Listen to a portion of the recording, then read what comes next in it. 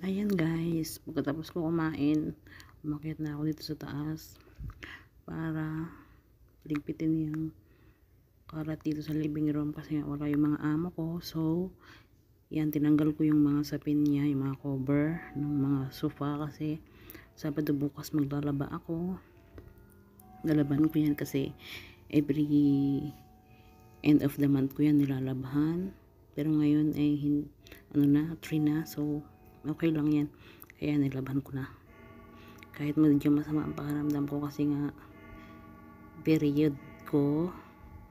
Yan, sige, bilisan mo, Miss Tessa. Yan, dahil na natin dun sa baba ng laundry. Tapos bukas ko na lang siya lalabahan. Kasi ako lang dito mag-isa sa bahay. So, ginawa ko na yung mga dapat gawin na dapat ay sana bukas pa. So, ayan na. Ganda na siya. Mas okay siyang tingnan pag walang cover. Sa akin na nilalagyan, pinapalagyan ng amo ko. Kasi nilagyan ko ng tubig yung ano, yung sa water dispenser. Niigiban ko. Kasi upos na. Ayan, okay na. Ganda na siyang tingnan.